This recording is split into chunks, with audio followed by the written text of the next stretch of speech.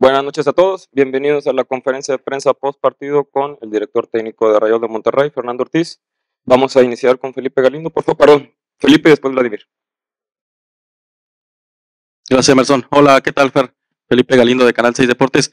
Pues qué partido, ¿no? ¿Qué, qué resultado sacó Monterrey cuando empieza la desventaja en el segundo tiempo? Creo que los, los goles de Tigres fueron muy puntuales que los afectaron a ustedes. ¿Cómo te deja este, este resultado, Tano? Sí, eh, buenas noches y buenas noches para todos. Antes de, poder darte esa respuesta, Feli, quiero felicitar a, mis jugadores, no solamente los que tuvieron la chance de jugar, sino los que también no tuvieron la chance de jugar y los que se quedaron eh, por diferentes motivos fuera de la convocatoria.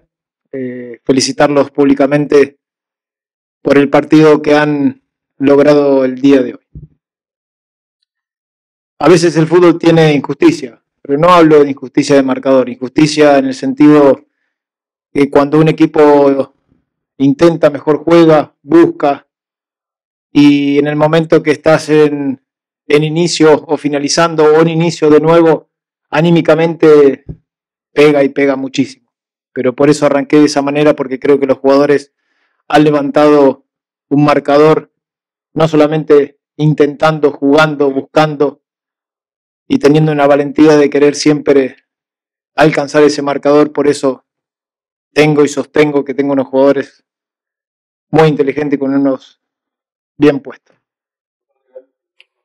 Gracias, eh, Tano, de este lado, Vladimir García de TUDN. Buenas noches. Entiendo, ¿no? Este alivio por eh, rescatar el marcador. Yo quisiera hablar un poquito más en general de lo que fue el ambiente de un clásico regiomontano que en la crítica nacional, ¿no? Siempre se había visto como un duelo muy trabado, que a veces ofrecía marcadores pobres con pobre espectáculo, más allá del intentar ganar. Y hoy, no sé si coincides, ha sido uno de los clásicos más pasionales que se han vivido en los últimos tiempos y fuiste parte de ello. ¿Cómo te hace sentir eso y si coincides con esa apreciación? Gracias. ¿Qué tal? Buenas noches. Eh, hoy se vivió realmente un clásico a nivel no solo regional, sino nacional de esa manera lo sentí, lo sentimos todos. Eh, creo que dimos un gran espectáculo, si bien obviamente a cada entrenador tendrá sus conclusiones luego del partido y tomará decisiones, pero para el espectáculo creo que fue muy, muy bonito. Todavía no terminó. No me dejó terminar, pero no importa. Ah. Le urge irse. Bueno, para finalizar, eh, si bien es un resultado que nosotros teníamos que cortar por la seguidilla de derrota que teníamos en la liga. Eh, me voy satisfecho, pero no conforme con el resultado. Gracias. Sí. Eh. Vamos con Javier Rojas, Jaime Mar. Venga.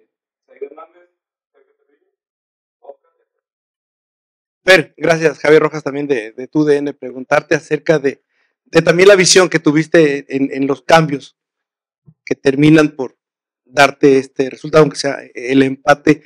Eh, ¿qué, es, ¿Qué fue lo que observaste en ese momento, sobre todo cuando haces los últimos movimientos, que no te hacía sentir para nada derrotado en este partido? Sí, eh, bueno, dos cambios tuve la obligación de cambiar por diferentes motivos. Lo de Luis en el primer tiempo fue una dolencia que traía.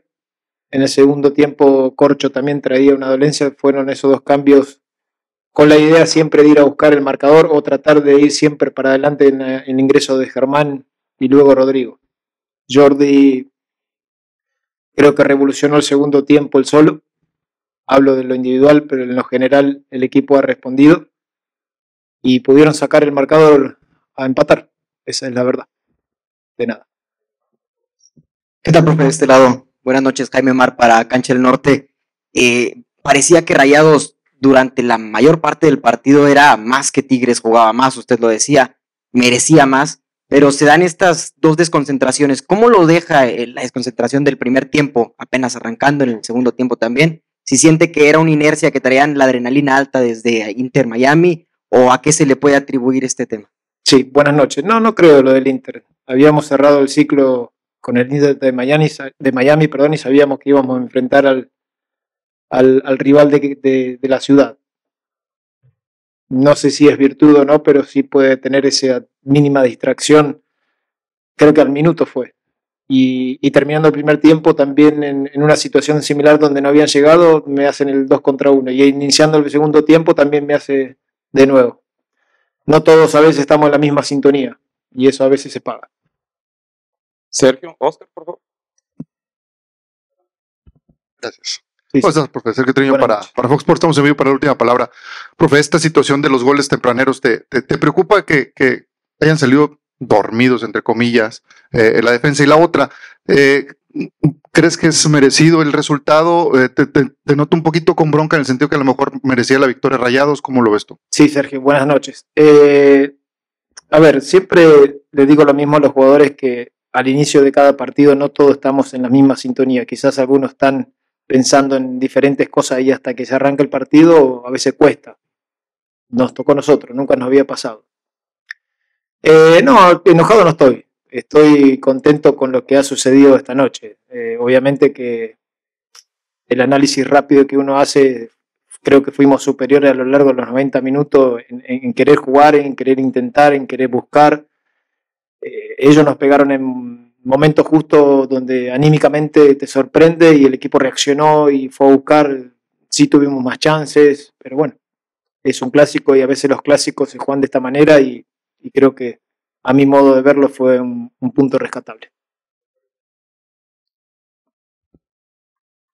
Gracias. ¿Qué tal, profesor? Buenas noches, Oscar Gallardo de ESPN. Profesor, hace un minuto comentaba sobre el tema del espectáculo y que no ve este clásico como uno regional. Me gustaría preguntarle a usted que estuvo en, la silla en Cuapa, si después de los últimos clásicos que vimos eh, nacionales en donde América venció y eliminó a Chivas en, el torneo con CACAF, si hoy considera que el clásico regio ya superó al clásico nacional porque hoy Monterrey y Tigres pelearon hasta buscar el triunfo. Gracias. Sí, buenas noches, Oscar. Creo que hoy vivimos un clásico muy diferente.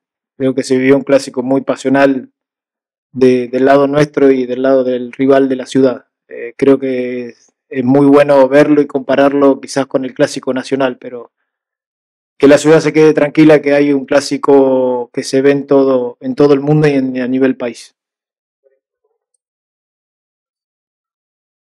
Buenas noches, Tano. Sí. El, el miércoles pasado contra Inter de Miami, el día de hoy también, el, el estadio, la gente apretó mucho.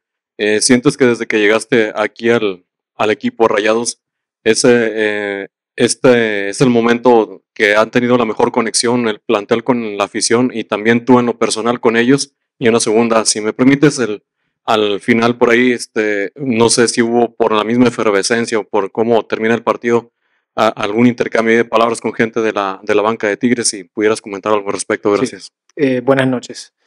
Eh, creo que desde el momento que nosotros estamos a cargo de, del equipo a nivel cuerpo técnico, creo que es hoy el mejor momento que estamos viviendo con la afición. Eso es algo que los jugadores han logrado de, ciertas circunstancias vividas en liguillas anteriores y hoy han tenido esa conexión con la gente, creo que estamos en la misma línea se ha hecho notar eh, no solamente en, en el partido de Copa, sino en partidos anteriores y en este, demostrando una vez más que es una afición muy, muy importante para el fútbol nacional y, gracias a Dios la tenemos nosotros. Eh, ellos interpretaron que yo grité el gol hacia el sector de ellos. Yo le dije que no, que no fue de esa manera. Y si lo sintieron de esa manera, soy de pedir disculpas. Yo creo que muy pocas veces en mi vida como entrenador he festejado un gol de la manera que lo he hecho.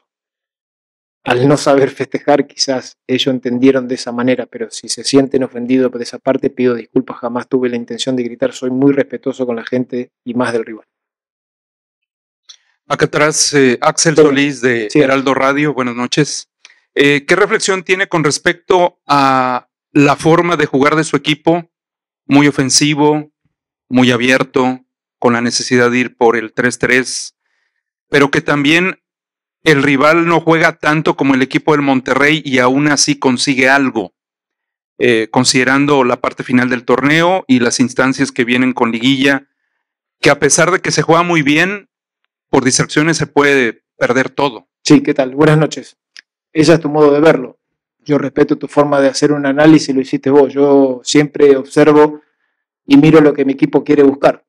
Yo no busco un marcador de ir a buscar, siempre busco de la misma manera. Estando 0 a 0, ganando 2 a 0, intentando siempre jugar.